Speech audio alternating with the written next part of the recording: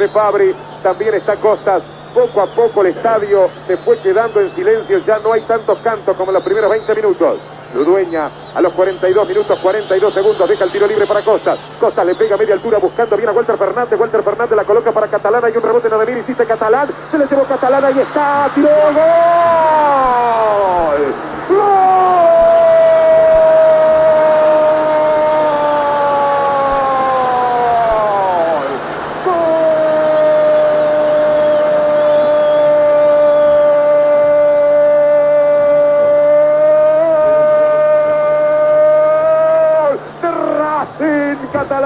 Omar Catalán, se llevó la pelota desde la media luna, enfrentó al arquero y la colocó con una gran serenidad. Allá fue a pelear la pelota Walter Fernández con Catalán a la puerta del área. Al final se la llevó Catalán, entró al área, enfrentó al arquero, miró el rincón y dijo allí mismo y allí la puso por abajo a la izquierda de Wellington. Está terminándose el primer tiempo. Qué bueno si Racing mantiene este resultado para irse al descanso a los 15 minutos ganando por 1 a 0 con este gol señalado por Omar Catalán a los 43 y medio. Racing 1, Cruzeiro 0, de Supercopas Racing.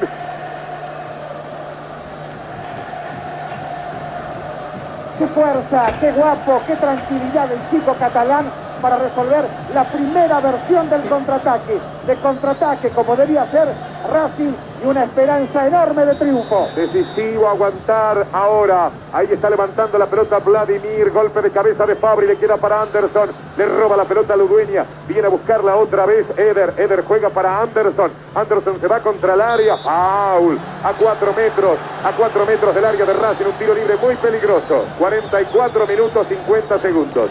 Habrá que aguantar este tiro libre, como sea, Pato. Sáquelo con la que pueda, Pato, porque esto es muy importante para Racing. Es una nota decisiva en el partido.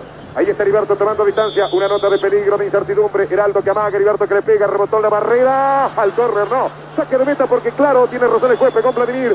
Perfecto, Juan Daniel Cardenino. Saque de meta para Racing. La trae, lo llama Fabri, le dice, pegale vos.